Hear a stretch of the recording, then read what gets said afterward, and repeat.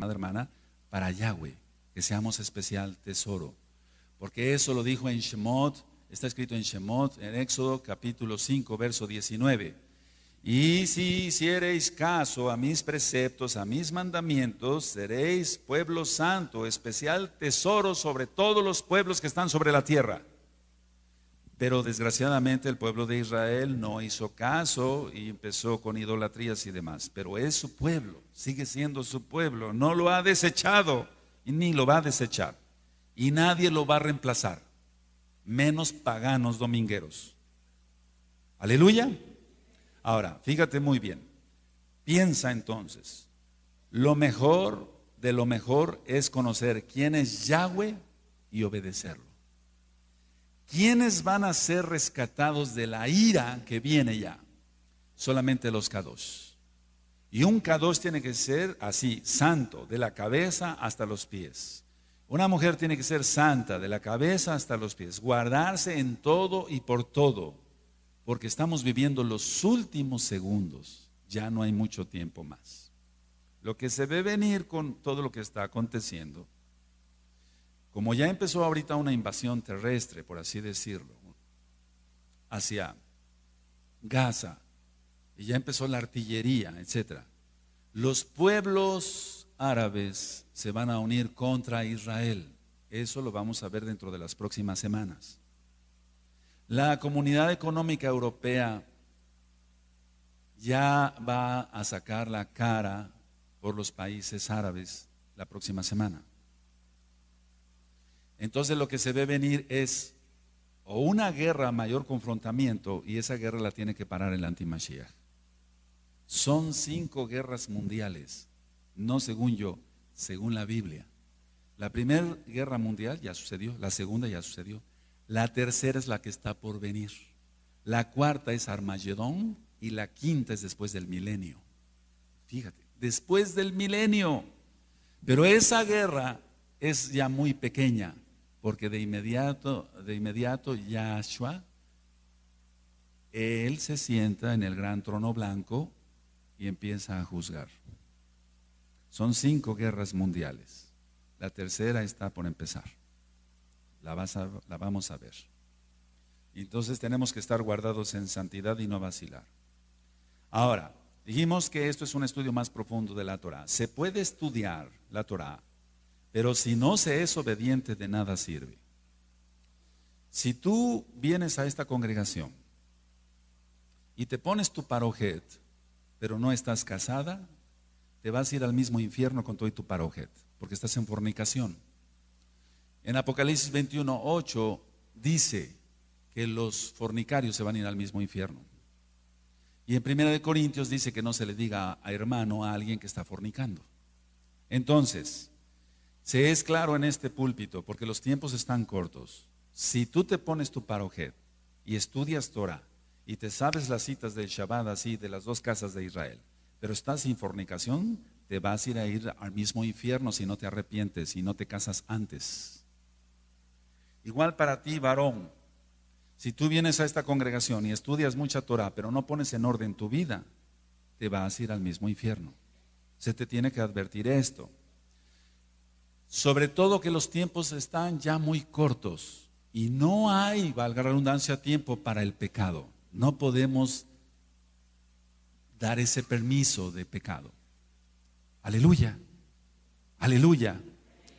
Más sabiendo, yo lo ministraba, que el cristianismo, o cuando tú y yo éramos cristianos, se entendíamos la Biblia de alguna forma, pero ahora con ojos hebreos se ve perfectamente bien que no hay ningún arrebatamiento cristiano, eso ya lo he ministrado.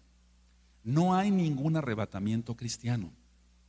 Es decir, que Yahweh, Yahshua, lo he ministrado varias veces, Él es divino, Él es judío, Él no ha reemplazado a su pueblo, Él se casa con Israel.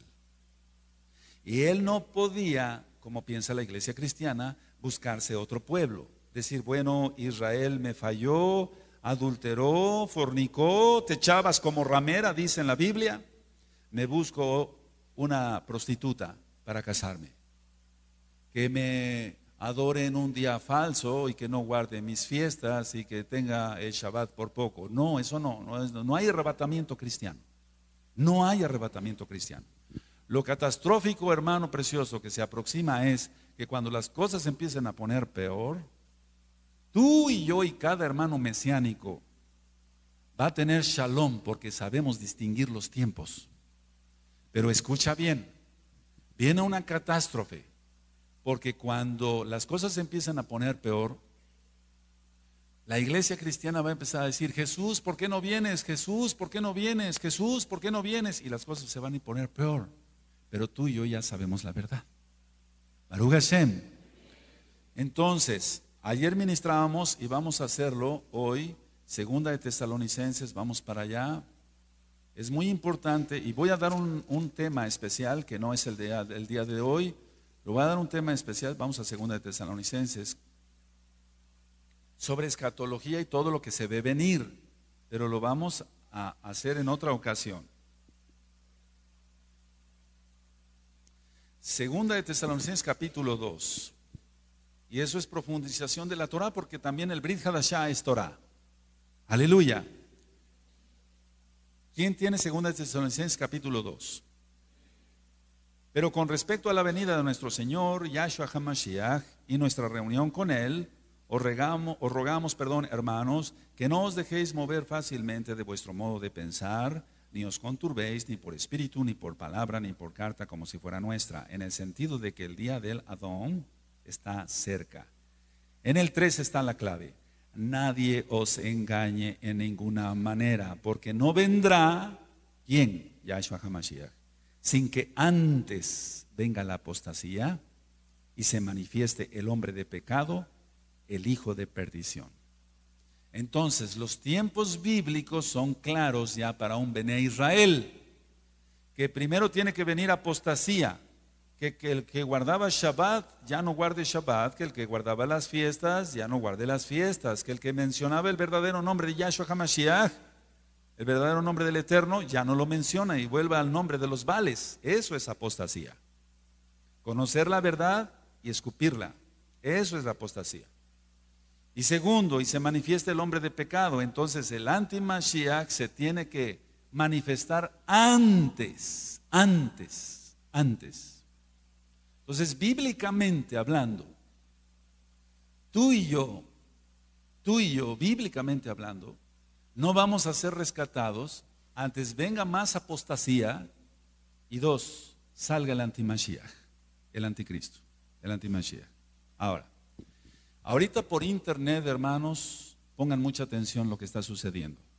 Hay hermanos que me, se comunican conmigo de Venezuela o de otros países lo que estoy diciendo es verdad, aquí no se viene a mentir, ni aquí ni allá, afuera. Y está sucediendo una cosa catastrófica.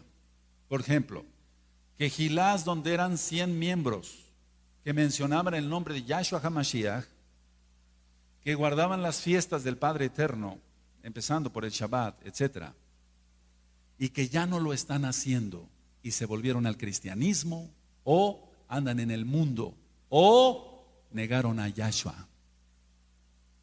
Un hermano que está en Venezuela me, estaba diciendo por eh, vía, internet, dice, hermano, ahora nadie quiere creer aquí en Caracas, Venezuela, que realmente nosotros tenemos la verdad.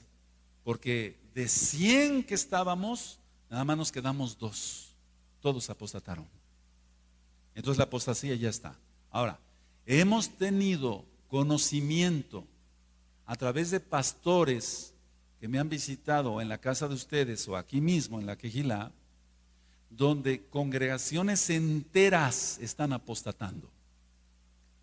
Quejilás enteras, donde ya se guardaba el Shabbat, las fiestas, el nombre del Eterno se mencionaba, están apostatando. Entonces la apostasía ya está. Ya está la apostasía. Ahora, no nada más en Latinoamérica, sino estamos teniendo contacto con hermanos de otros lados y se están desbaratando congregaciones. Y te digo una cosa, si me escuchas, el diablo una y otra vez ha querido desbaratar esta. Con actos de brujería, de hechicería, maldiciones, misas negras aquí afuera, como lo que vinieron a dejar la otra vez, etc.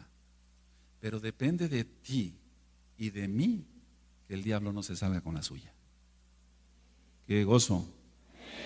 ¿Cómo se obtiene eso? Entonces se mantiene uno en santidad, se deja uno de chismes, se pone uno a orar, perdona uno todo, ayuna uno y entonces la quejilá seguirá adelante. Baruch Hashem. Al menos de mi parte no va a suceder eso. Al menos de mi parte, de mi familia, no va a suceder eso. Yo ministro fuertemente a mi familia, a veces sentados en el comedor está mi esposa y mis dos hijas y les digo, que ni se nos ocurra a los cuatro aquí pecar. Porque ya estamos en el arca de la salvación. ¿Para qué nos salimos? Que ni se nos ocurra. Bueno, lo mismo es para ti, varón, para que ministres así a tu familia. Baruch Hashem, porque los tiempos están cortos. Y eso puede suceder este año o más tardar en el año 2010. No más, no más, hermano. Mira cómo se está poniendo el mundo. Viene un asteroide para el 2012. Entonces eso quiere decir que el 2012 es parte de la segunda mitad, probablemente. Es muy seguro que el 2012 sea parte de la segunda mitad de los siete años. ¿Qué nos queda? Ya nos vamos. Pero antes vamos a ver apostasía. Que no seas tú el que esté aquí descrito, o yo, no. Que no nadie os engañe ninguna, porque no vendrá sin que antes venga la apostasía, tuya o mía, ni el Eterno lo quiera que no seas parte de esta profecía. ¿Sí me doy a entender? Que no seas parte de esta profecía. Por favor, que no seas parte de esta profecía. Entonces te digo, se puede estudiar la Torah, pero si no eres obediente, de nada sirve. De nada sirve que te sepas el libro de la Quejilá que está sacado de la Biblia. De nada sirve. Por lo tanto, es un privilegio conocer quién es Yahweh, estudiar su Torah, obedecerlo y ser su fiel servidor. Tú tienes que ser fiel servidor de Él. Baruch Hashem. Porque vamos otra vez a Malaquías. Si tú te dices congregante, pero no vienes ni siquiera a barrer, no sirves para nada. Perdóname la expresión. Pero todos tenemos que servir en algo. Si no tienes un ministerio de acomodar a los hermanos en sus lugares, del sonido, de, la, de maestro, de maestra, etcétera, y no te has acercado siquiera para venir a barrer un viernes o participar en el talento para que haya más discos, entonces no eres congregante, perdóname.